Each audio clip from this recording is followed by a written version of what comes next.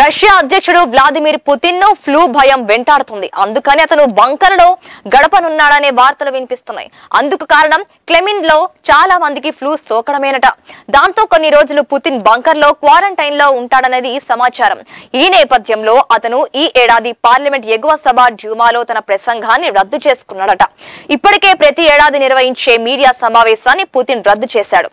క్రెమ్లిన్లోని చాలా మందికి ఫ్లూ సోకిందని ఈ విషయాన్ని పుతిన్ అధికార ప్రతినిధి దిమిత్రి పెస్కోవ్ వెల్లడించినట్టు ఒక నివేదిక చెప్పింది.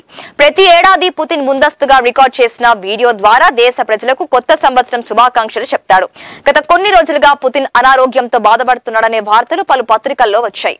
అతనికి క్యాన్సర్ ఉందని కొన్ని వార్తా సంస్థలు కూడా రాశాయి. అయితే క్రెమ్లిన్ పుతిన్ ఆరోగ్య సమాచారాన్ని అధికారికంగా వెల్లడించలేదు.